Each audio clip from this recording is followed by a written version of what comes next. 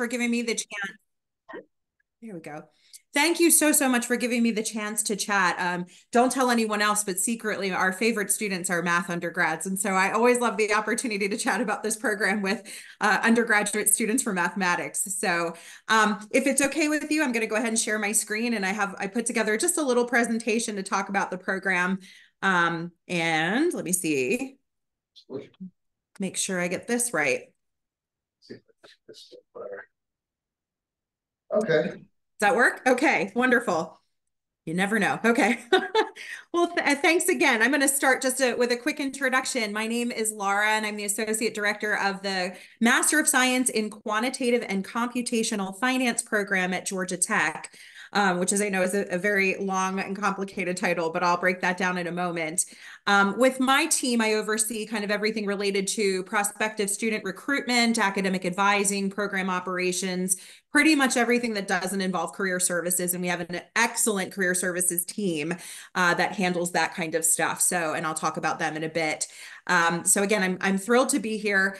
Um, I put together just kind of a little presentation of highlights. I normally have have an hour long in, in info session that I do regularly once a month, but I kind of truncated it down to about maybe 20 minutes and then I can leave time for questions. Um, so I'm going to go ahead and, and dive in. Um, what is this program? Like, what in the world is it? QCF is an odd acronym. I know it's not like MBA. Everyone knows what an MBA is, but what in the world is QCF? We basically say that with our program, we are going to teach students a very strong foundation of quantitative skills for complex mathematical modeling, which is where math students fit in quite nicely. We will also teach students the computational skills so that you can implement those models through statistics and programming. And all of that is done within an understanding of and applications to finance, um, understanding how these financial institutions work and how the financial markets work so that you can uh, implement these models to predict shifts and changes in the financial markets um, and go and, and help these institutions. And uh, so if you, when you boil it down into one sentence, we can kind of say that we are data science for finance. Um, we may even be rebranding a little bit to be AI for finance. Uh, our faculty director is big on AI and his lab does a lot of research in that space. And so we plan to even pivot and offer more AI for finance uh, material going forward. We're actually uh, reworking one class to do that. So um, basically data science for finance, we're math, we're programming, we're statistics, we're engineering, we're all of these things kind of in one interdisciplinary uh, topic. And as such, our program is interdisciplinary at Georgia Tech. So we have faculty that teach from our business school, our School of Mathematics, and our School of Industrial and Systems Engineering. I almost argue we have a fourth informal partner in our College of Computing just because so many of our students also take computing electives. Um, but it isn't it, because it's an interdisciplinary topic. It was very important when this program was began, began um, back in 2001. It's actually been around a really long time. It was important to the faculty member that because because it's an interdisciplinary subject that it be interdisciplinary in nature at Georgia Tech. So um, we're very lucky to have participation from multiple colleges. Uh, I want to highlight some of our just kind of our program rankings. Uh, we're currently ranked number 12 in risk.net uh, in their Quant Finance Masters Guide for 2023.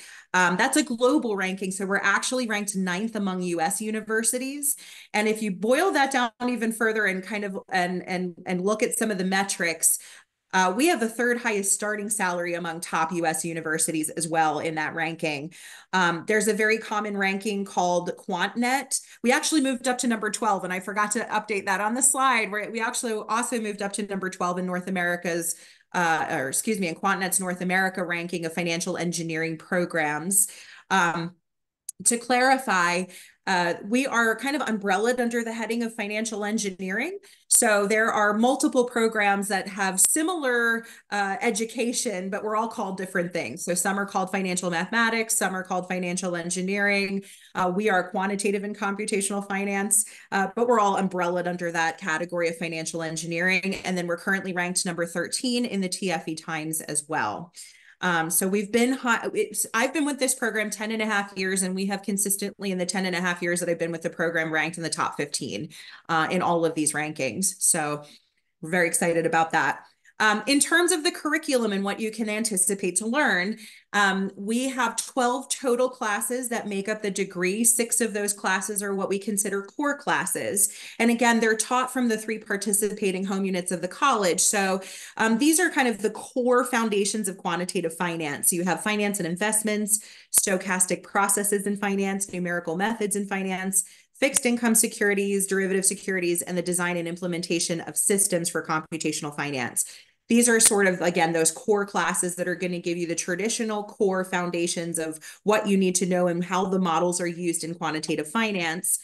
And then we have what we call targeted electives. We have three uh, that were custom designed for this program, and we ask you to choose two of them.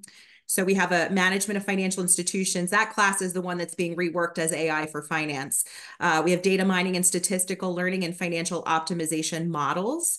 Um, I always highlight this management of financial institutions, even though it's being reworked as an AI for finance class. It's taught by our faculty director, Dr. Sudhir Chava. Um, it, he's really big on giving a lot of project work. So there's about one project due a week in that class. Um, and I anticipate it'll be the same when it's reworked. Um, and he gives what what's really interesting about Dr. Chava is that he tries to bring in the latest technologies that are being used in the industry to the classroom. And it and why is that important? Well, first, students start off that very early in doing some of these projects. And so it's really good when you go out into your internship interviews. There's a lot of good meaty material to talk about in those interviews. And then oh, it's saying my connection is unstable. So if it and then doctor and then it's really good again when uh, companies like to see this kind of cutting edge work that's happened. So when you do some of these projects and some of these classes and you're able to put them on your resume it can make your resume set, stand apart a little bit from some of the other uh, people that might be applying to uh, some of the jobs. And i'll talk a lot about the career side in a moment. Um, but anyway so we have these these targeted electives classes that were custom designed for this degree. And then we have a capstone class. It's an experiential learning class. We typically have companies that partner with Dr. Chava's Financial Services Lab. And those companies um, also mm-hmm. contribute projects for the capstone. So typically the companies come in and they'll do that kind of a pitch of the project ideas. And then the mm-hmm. students will submit their preferences for which projects they might like to work on.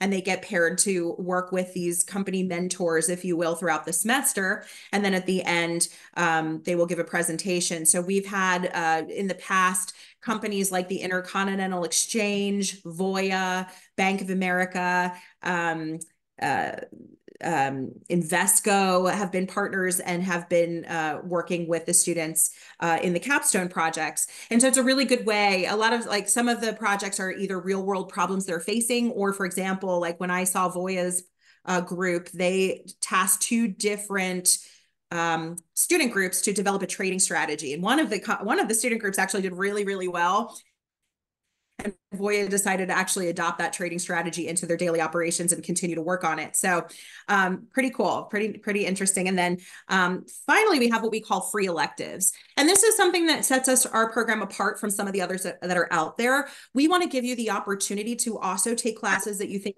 are interesting academically or what you think will help prepare you professionally for what you want to do. Uh, so we have students that go to our College of Computing and take things like deep learning, high performance computing, computational data analysis, um, regression and time series analysis is really important. There's a really solid foundation of quantitative finance, those techniques. And so those are really good electives. Um, our business school has interesting electives. Dr. Chava, again, teaches our FinTech Ventures and Cryptocurrencies class. That one's pretty popular. Um, we have entrepreneurial finance and private equity. There's a valuing technology firms class. There's a lot of interesting courses there. And then uh, School of Mathematics. Uh, we have students that will take stochastic processes too, or partial differential equations. Um, mathematics is such an integral part of, of quantitative finance especially in preparing for uh, interviews for some of these roles. And, and so we have some students that might want to brush up on their math and do that. We also have just a PhD track. So I would argue maybe 96% of the students that do our program end up going directly from our program into industry. Uh, but sometimes, uh, once in a while, every cohort, we may have one or two students that want to go into a PhD. And so we also have the ability to allow students to take PhD in finance classes um, things like asset pricing, corporate finance, et cetera. It's a good way to dip your toe in the water to see if the PhD environment is right for you or not, especially if you're interested in a PhD in finance. Um, but we also have a, an alum from our program that's in our PhD in machine learning program. We have one that's in our P we have two actually that just, one just got admitted to our PhD in electrical and computer engineering. So this is also potentially a pathway to PhD, although I would say again about 96 or 7% of our students go directly into the financial industry or the finance industry after graduation. Uh, one of our alums, Mike Hardesty, he's a, a VP of multi-asset strategies and solutions at BlackRock. That's in their San Francisco office. He said, I was exposed to a wide range of topics at Georgia Tech, including risk management, options, numerical methods. Obviously, Georgia Tech didn't teach me how to do my job, but instead it gave me the vocabulary and framework needed for just about any conversation. So um, I love that he said that. I think that what we do a really good job of is teaching you all of the tools so that you can then take it and, and apply, uh, apply that in a real world setting. So I want to talk a little bit that I love I love talking about this building. It's the building I'm not there now. I'm actually working from home today, but uh, my office is located in this building. It's called Coda Tech Square. Um, if you're ever in Atlanta, and uh, please let me know, and I'm happy to give you a tour of the building. It's pretty pretty amazing. Um, it's it was uh, the design of the building is to be the intersection between Georgia Tech and industry in the spaces of technology and analytics. And we are one of three academic programs on the entire Georgia Tech campus that was actually selected to have a space in the building. So we have this beautiful graduate lounge on the 16th floor of the building, and our students have 24 hour access. Um, the building is, again, two, it's two towers and it's joined in the center by what is now considered to be the world's tallest continuous spiral staircase. So you can see in the picture on the left, um, it goes from floor five all the way through to floor 21. It's really impressive. Um, and every three floors has an entirely different decorative theme. So pictured here is our indoor garden. There's another game room. There's actually a pool table that students can use 24 hours a day. Um, there's uh, a rooftop on the 20th floor with a gorgeous view of campus and downtown Atlanta. Uh, pictured in the bottom right is our actual graduate lounge that our students um, can use and have, again, access 24 hours a day. And if you were to pivot the camera, there are interview rooms and individual workstations as well in our graduate lounge. So it's a really, really beautiful space. Um, definitely worth a visit if you're in Atlanta. And then at the bottom of the building's a food hall. So there's five food vendors and a bar as well. Um, so it's very, very, very interesting building. And and we got, I don't know how we we pulled the lucky straw, but we got to have a space in the building. There's even a kitchen. Uh, so students can come and bring bring food with them. And if they have to study late night, uh, that's convenient. So so that's our CODA building. One of the things I love to highlight about our program is sort of the sense of community that we try to build. Um, one of the things I, I, I didn't really address is that this is considered a professional master. And so um, we operate very similarly in, uh, to like an MBA program where yes, it's about completing these classes to earn the degree, but equally as important is our efforts to help you with your career search.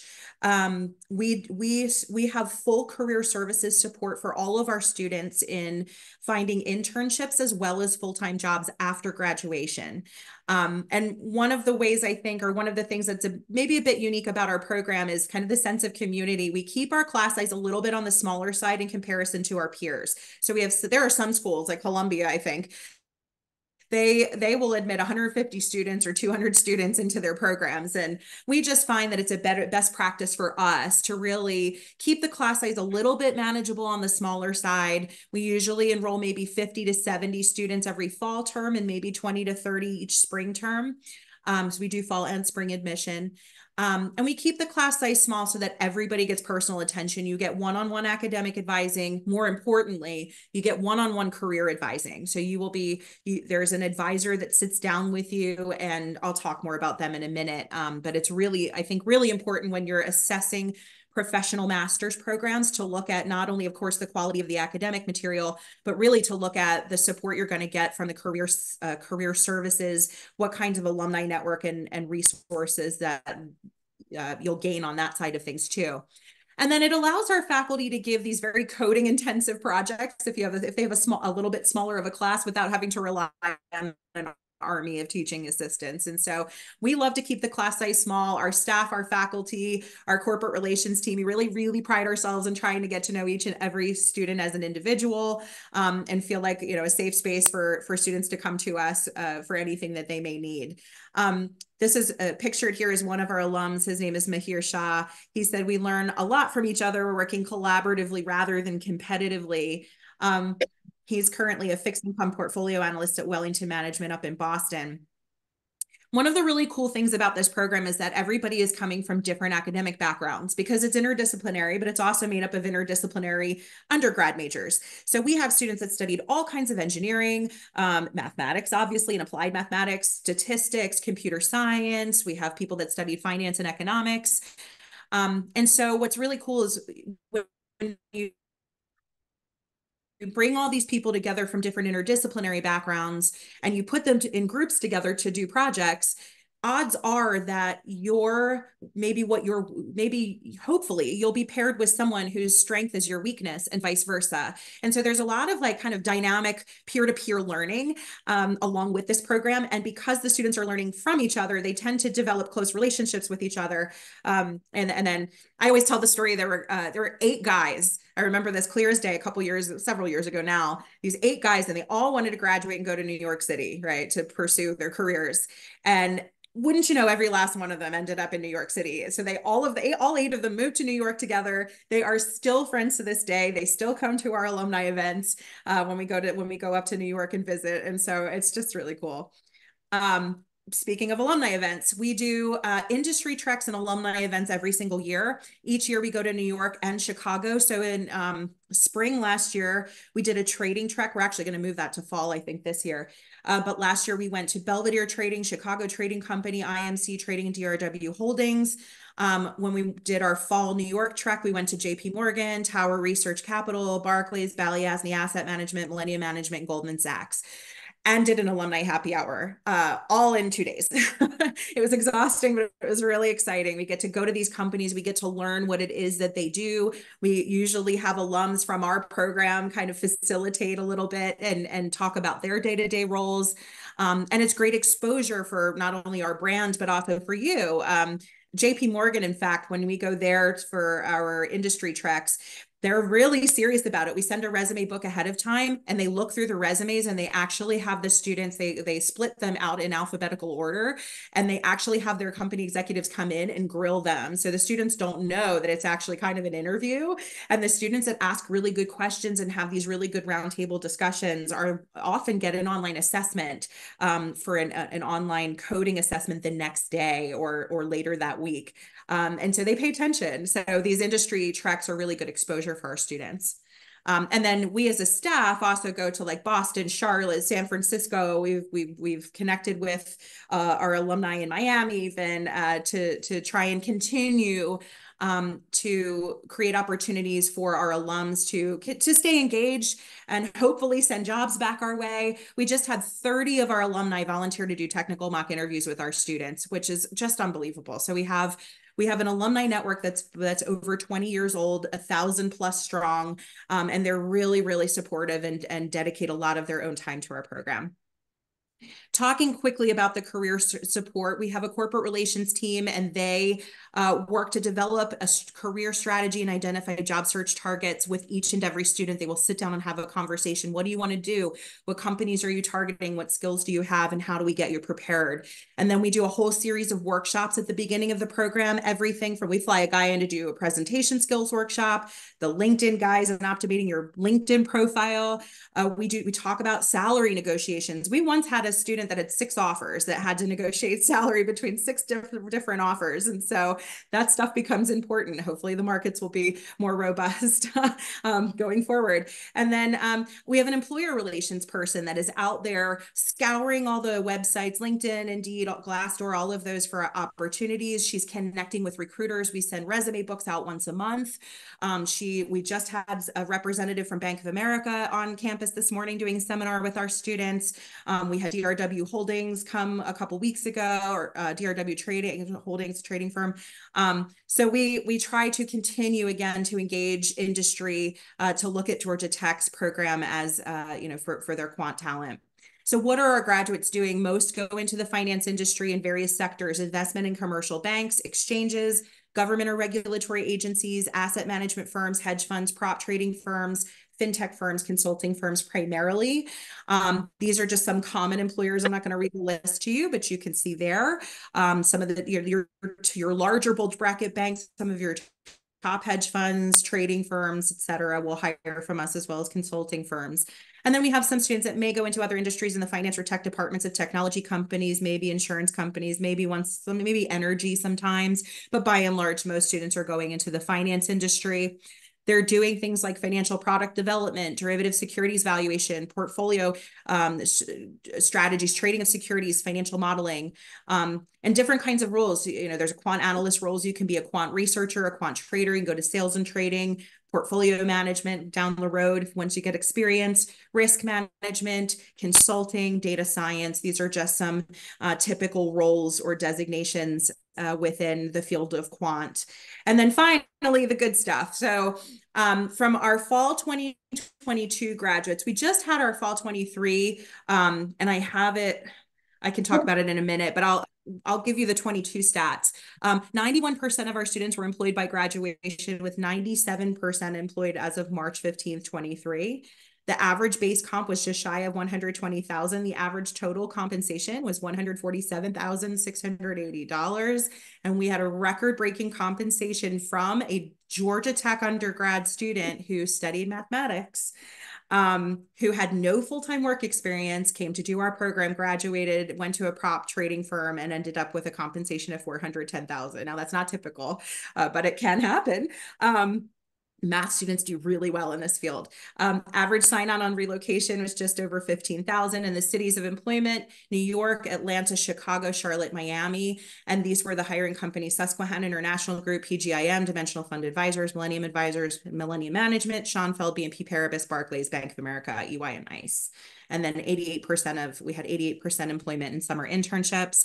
For spring 23 96% were employed but within three months of graduation and we're at 100% now. The average comp was 116 average total comp 130 highest comp was 220 still nothing to sneeze at.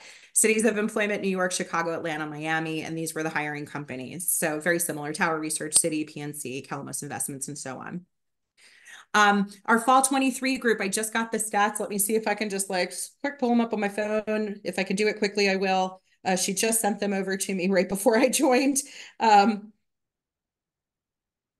nope, I'm not gonna be able to find it quickly, but we were at 96% again um, as of three three months post graduation, and the statistics look very similar. Um, I would say there's it's a, almost a carbon copy of what you're seeing on the screen now.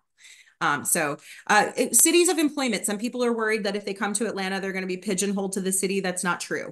27% um, of our students stayed in Atlanta uh, last year after graduation, but as you can see, 73% went all over. So we have people that go to New York, to Chicago, to Boston, to Charlotte, to Pittsburgh, to uh, Miami, all over. So um, that's the nice thing is we've been around a long time and we have alums all over the country and we do a pretty good job of, of placing students where they want to end up.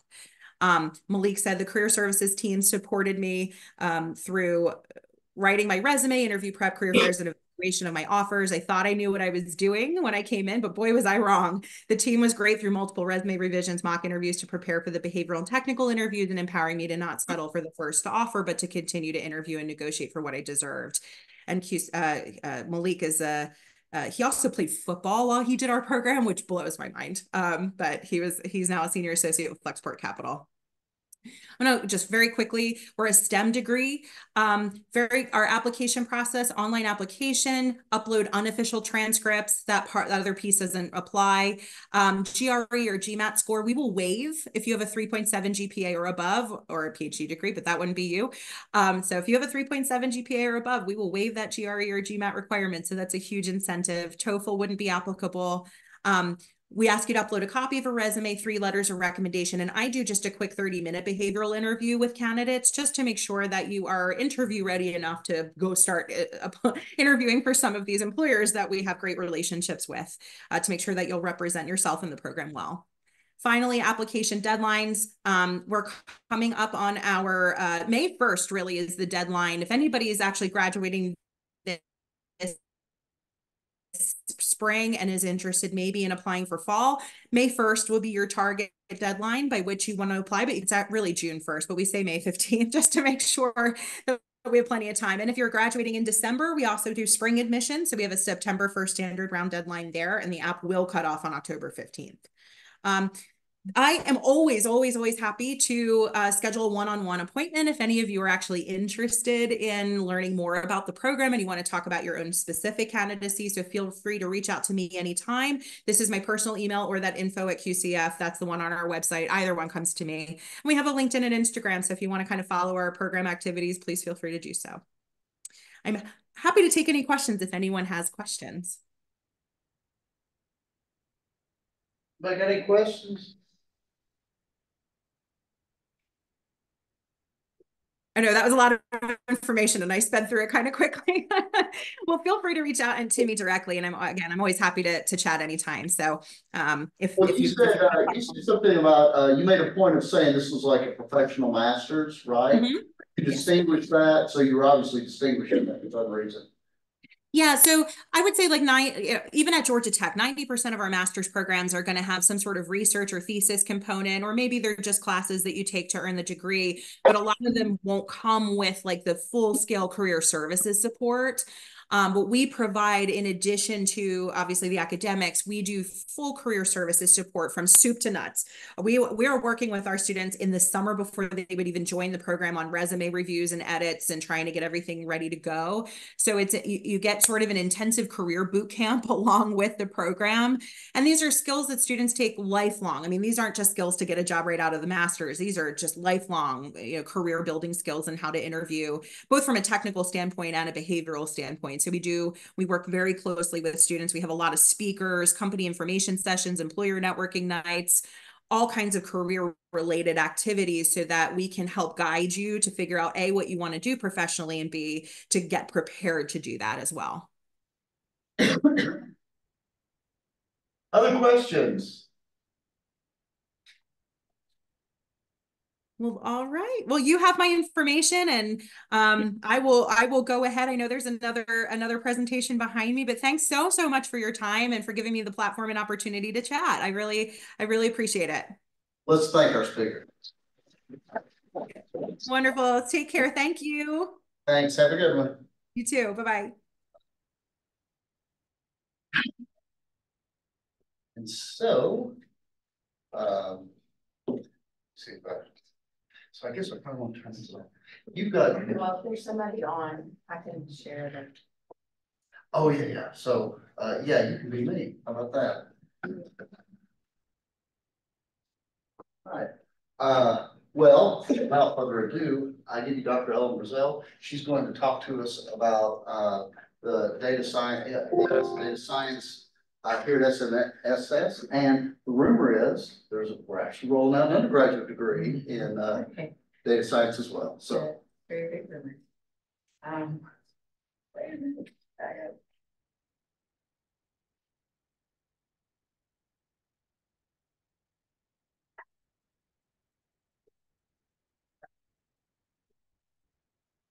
I'm losing my voice.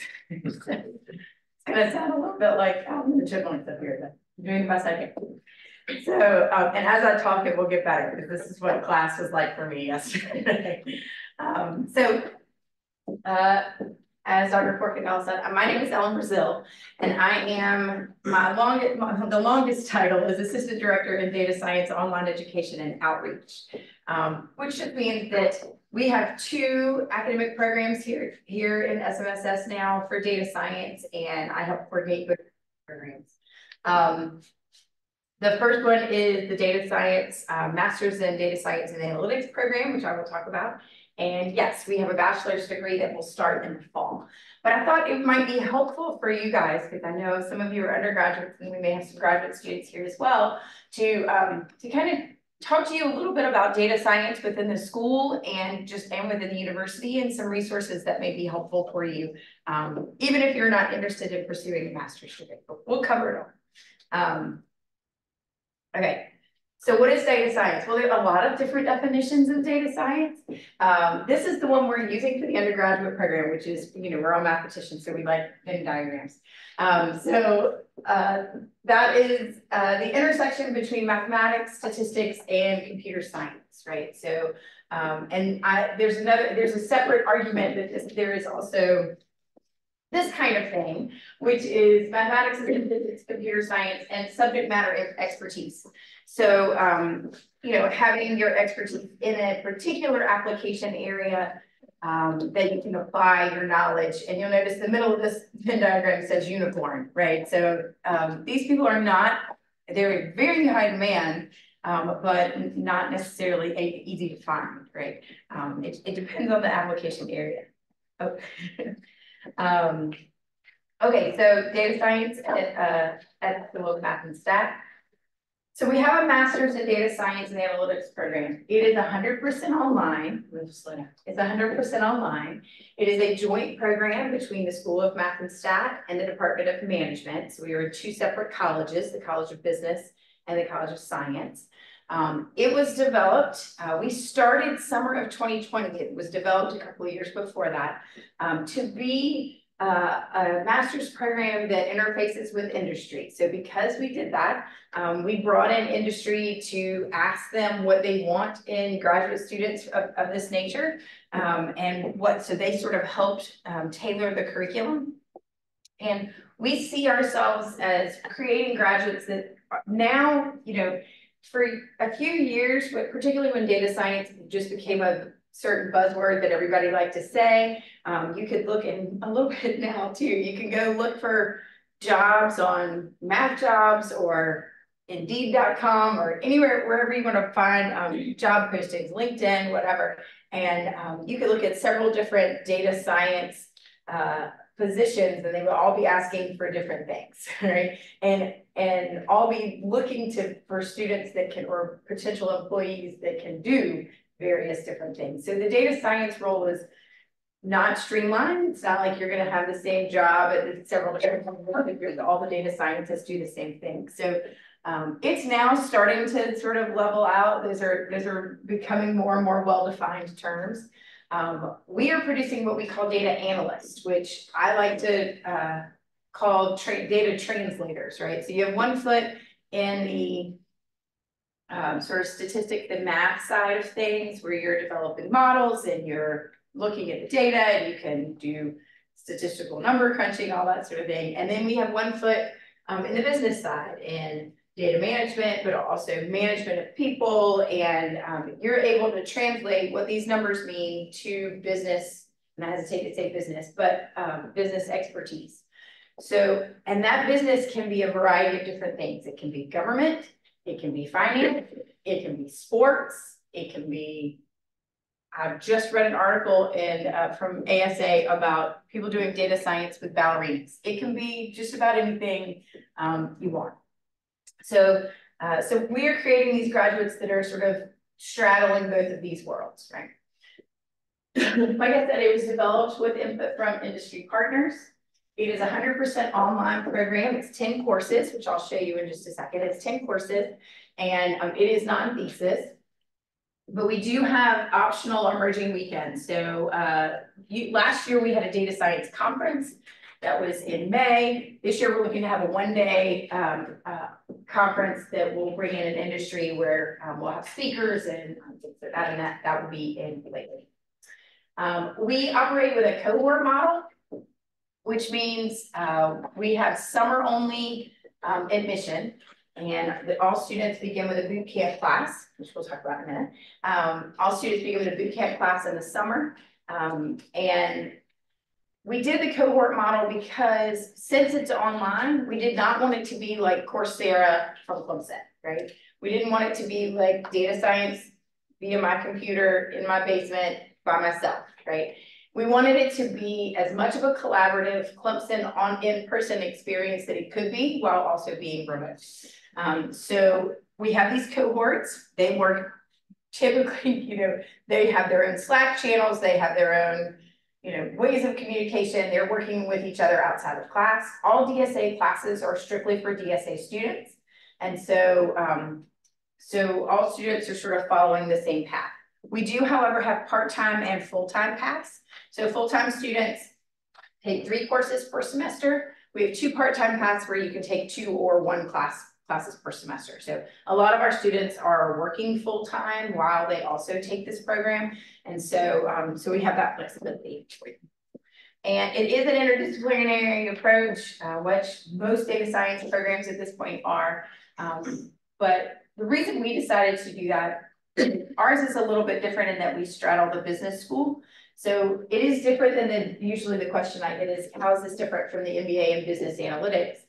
And the answer to that is we have more math, right? Um, it, it's a much more deeper dive into mathematics and statistics than the MBA in business analytics. Um, some of our students have actually done both, not many, but have done both um, the MBA in business analytics and our program. Um, ours is more of a balance between that business side and the um, and this math and stat side. So here is the full time. There's a way to make it go away. There you go. Um, here's the full-time path, which you could, these are all the same um, classes regardless of full-time or um, part-time. So there are 10 courses, the first one being the boot camp class. The boot camp class is somewhat self-paced in that um, it has modules that you can work through. Um, there's an introduction to linear algebra, which you would all sail through, of course. Um, there's introduction to R and Python. So throughout the course of the program, students learn R, Python, SAS, Tableau, uh, SQL, non-SQL, and I'm sure a handful of, of others. Those are the major ones. Um, First fall, if you're full-time, is Stat Methods One, which is taught in this school um, by Deborah Kunkel. Uh, statistical computing, which is taught in this school by me. Um, and analytics application, which is taught from um, the management department. Analytics application is, um, is Python class. It, it's basically intro to Python with um, applications to management. Um, the spring is statistical methods two, advanced mathematical programming. Both of these are taught in, um, in our school. Whitney Long teaches that stat methods two, if any of you have had him. And uh, we just switched the instructor. I'll have to think about who the instructor of the mathematical program is. And then data manager uh, management and warehousing is taught in the management department. Um, and that's our SQL non-SQL class. Um, multivariate analysis is of course like stat methods three, right? Um, taught also by Whitney and then business analytic, analytics project and managerial design uh, decision making are both in the management department. This is as close as we get to a capstone type experience, except for it's not an undergraduate capstone, it's a, it's a master's um, project. So we also um, pair with industry and university um, um, faculty and and businesses on campus and off that help our students work in groups and work through a data analytics project and, um, and actually sometimes two analytics projects. It's kind of like a consulting class. The students meet with the individuals, um, they meet amongst themselves, they have a management style, and then, um, and then they also work through everything they can um, for data analysis um, in either R or Python, whatever they choose. So um, like I said earlier, we now have a bachelor's in data science, which I affectionately call the DSBS. Um, and this is, I know all of you are, are, are set in mathematical sciences. This is so that when you talk to potential students that are coming here, well, we do have some students that are going to transfer in. Um, but when you talk to students that are potentially coming to um, Clemson, you can mention that this is um, a possibility now. So it's our newest major. It's Clemson's uh, newest major. It is um, starting in the fall of 2024. Um, graduates of the program will be prepared for future graduate study, of course, or immediately to industry um, to help companies with decision making through data. There are two programs in South Carolina um, that are Bachelor's of Science in Data Science. One is at the College of Charleston, and this is the second one. The one in College of Charleston prides itself on being the first data science program in the country. It was established in 2003. Since then, it's been a while, since then, um, there's actually been national consortiums to determine what a undergraduate program in data science should look like. Um, that consortium first um, began in 2016, and we followed those um, guidelines in order to create our undergraduate program. Um, and so that link can be found there. One of the things that makes ours completely unique in that most of undergraduate um, data science programs have application areas or emphasis areas, whatever people want to call them. Um, usually there's a short list of what those things can be. Finance, biology, you know, there's uh, four or five different things. We have no limit as to what your application area should be. You are to take four classes. It is that, that Venn diagram, that second Venn diagram where I talked about domain expertise. It is trying to get at that. So it is four classes um, from any prefix on campus. When I say prefix, like STAT, MATH, those are our prefixes on campus. So you can do um, anything from finance and biology, physics, um, sports leadership, engineering, anything you choose. You can take uh, four classes in that application area. And then the idea is that you would use that expertise towards your capstone project. Um, and we all know data science is a big thing, so I don't need to tell you that.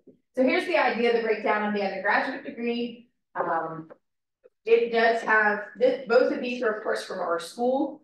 So the majority of the classes are taught in the School of Mathematical and Statistical Sciences, and this program lives in our school, um, as opposed to the master's degree that is in both.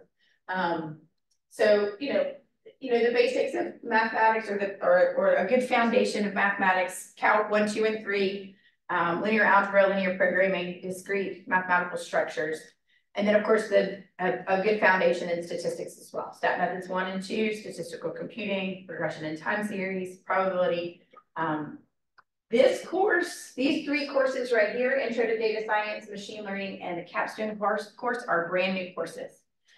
If you do not, all of you that are undergraduates, if you do not have a Global Challenges class um, already taken care of for your Gen Ed, Starting in the fall, we are doing an introduction to data science course, and it is a global challenges class. It will be offered um, starting this fall. And so it is for anybody, whether it is if whether you're in the uh, DSBS or not. Um, and it, the idea is to get anybody in any discipline exposed to what data science is, how they can apply it to their own discipline, and have it just be really data science literate, right? How, how do I read an article and break it down a little bit and be critical about what it says. Machine learning, you will see, is in both computer science and um, statistics, and that is because they have to take two classes, one in the computer science department and one from a math perspective. So, um, and then of course the capstone, which will be very similar to um, a consulting class.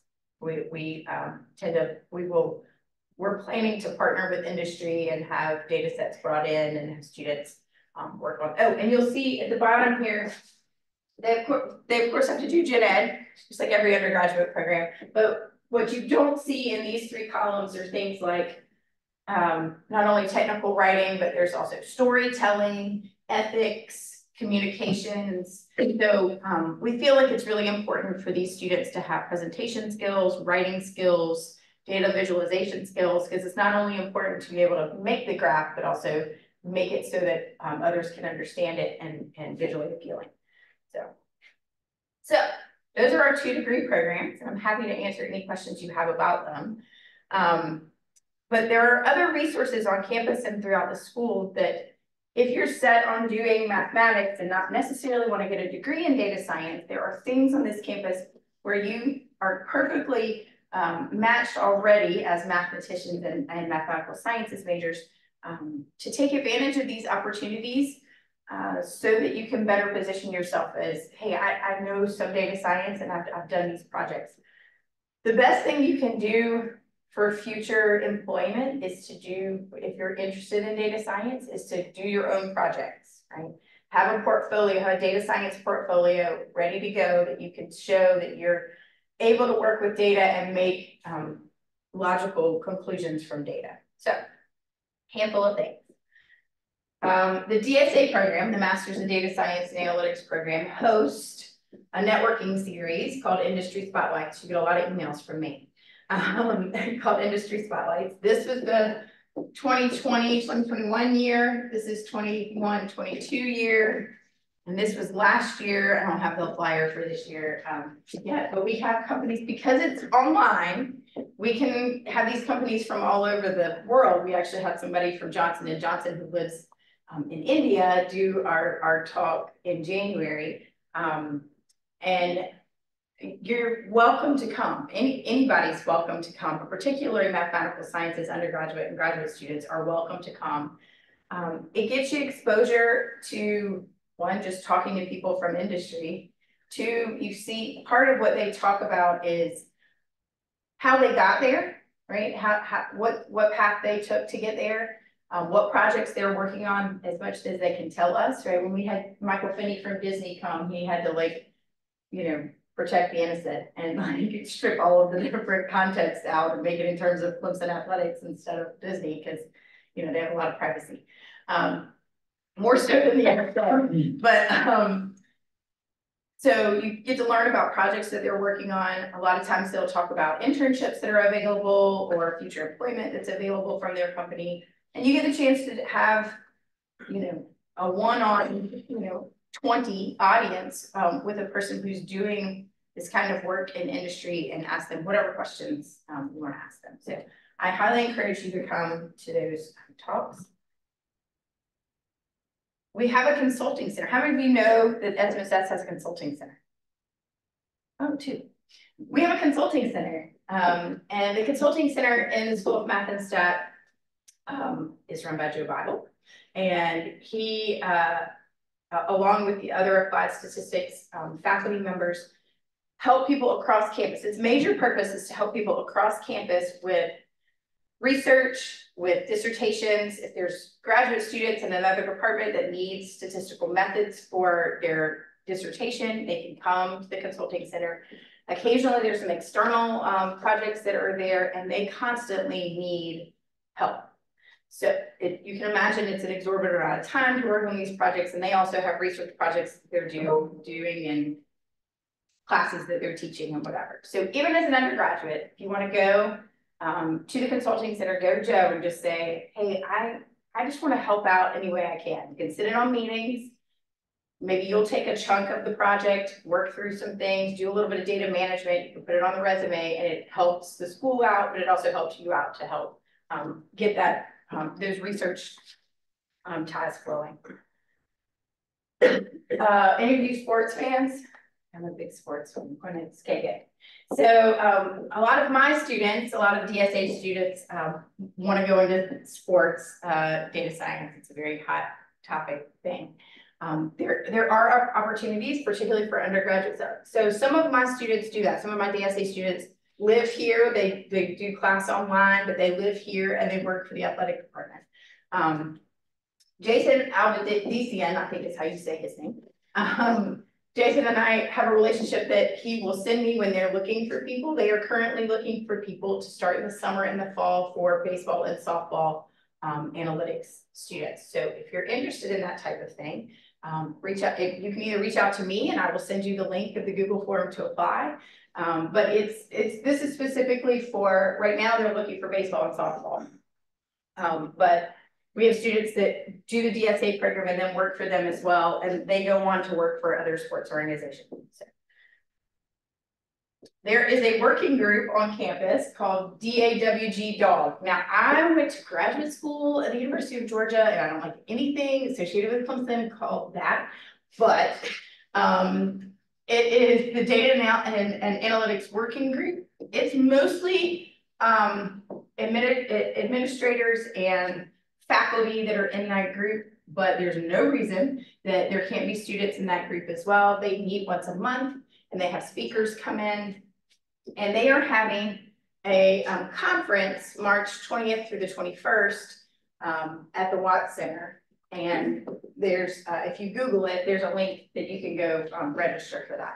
It's mostly about institutional research. A lot of a lot of their topics are about institutional research. And what is institutional research? Well, we have a lot of data within the university about grades and how people flow through the university and what's the best traffic pattern and all the different things that you data you can collect throughout the university and the students. And um, and so uh, institutional research does a, a lot of that. If you want to know, you know, how many people switch majors from engineering to mathematical sciences, you can find that through institutional. I put up two library resources here. Let's see if I can click on this. So if any of you are planning to do graduate work here, but I think they would probably take undergraduates as well, um, there's something called the Scholars Lab that's held through the library. The Scholars Lab is similar to the Consulting Center for, uh, but um, they don't just do analytics. They help students with any computing problem they have. So if you're proficient in R or Python or any computer language, um, they give presentations all over campus about what they can do, what resources they have. Um, and so they're constantly looking for, they create data visualizations for various groups on campus. Um, so they're constantly looking for, um, for help as well. And all of you would be um, aligned to help them. And particularly if you go on to do graduate work. And then I have, I think this is a link. But I can go find it. Watch this.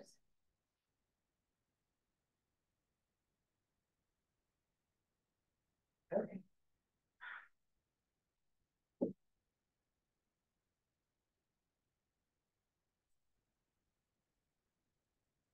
The second All right, so um, I don't know how many of you know, the library will keep create what we call reference split, what they call RefLib. Um, this is a, a uh, library guide for the DSA program. But what's great about this is it's got all the things that you might want um, from the libraries in terms of data science. And one of those things is data sets and data resources and data sources. So there are all these data sources that you have access to because you're a Clemson student um, where you can get data. You need it for a project for class. If you need it just to play with data or whatever, we have all of these different, now Kaggle everybody has access to, but there are several of these that you only have access to because you're part of an education organization. And so, um, so know that that's available to you as well. Where, where, where, where, okay.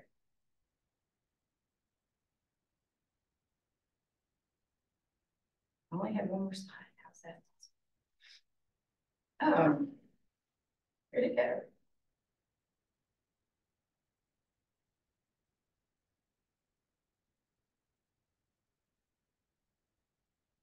There it is. Don't get whiplash. Okay. And if that's not enough, oh yeah, if that's not enough, um, then you can go your own way, right? There are plenty, this is my list that I collect as I go and as I learn new things. Um, and I'm happy to share this list with you. But there are plenty of resources out there where you can do your own data science project. And some of these things are, um, you know, just basics, getting started. How do you do a data science project? How do you even get started? What do I, you know, most people get started by taking a data science project that's already out there and trying to recreate it, try to see if they can do it as well. And then they move from there. That most of what statistics and data science is, is those questions, we get questions, we get questions, we get questions, right? We're never fully satisfied with the answers that we get. And so, um, so just you know, rolling up your sleeves and getting started is, is the best way to go. Some of these links are things like you can learn Tableau on your own. Be careful, that's Pandora's box of like you can go down a rabbit hole of learning Tableau, but there are certifications of Tableau and you can continue to do that. University has access to SAS um, for free. Um, so if you're interested in learning SAS, say you want to go into an industry that is going to only learn, uh, only use SAS, you can then also have free access to learn um, uh, the information to take the base certification exams, one of two base certification exams, or you can take STAT 40, 20, 60, 20, get course credit for it as well. So that's all. It's a lot of information. If you're interested in the Masters in Data Science and Analytics program, I have a flyer for you that is um, is student facing, so it may answer some of the questions you have about that, but I'm happy to answer them. Any questions? A lot. You know, I'm just, I mean, I thought it was just fantastic that you all just moved up the charts so quickly after you started. Were you a little bit surprised by I was that? very surprised. So we were, we're ranked number five by Fortune, um, in our second year after having one class of data. So, um, yes, I was very surprised. That's pretty righteous. Yeah. That's, And the, and the second, after congratulations, the second words out of Kevin James' mouth were, what are, who are one through four and how do we beat them? I was like, yeah, okay, I'm gonna ask the glory at five for a minute and then we're gonna, then we'll, then we'll. um, So, yeah, so we are. like a true chair. Yeah, yeah, yeah, yeah, we're currently ranked number five, uh, the rankings out this year yet, but. Any other questions? All right, let's thank our speakers. Uh, thanks for coming out, everybody. Next week's gonna be interesting because we've got an undergraduate, uh, doing a presentation on some research she's done. And so a lot of you, that'll be very interesting and I'm, there'll be a time for question and answer too, so, uh, stay tuned for that. That'll be a fun way to kick off spring break. Other than that, y'all have a good weekend and we'll see you next week. Oh, and the rule of math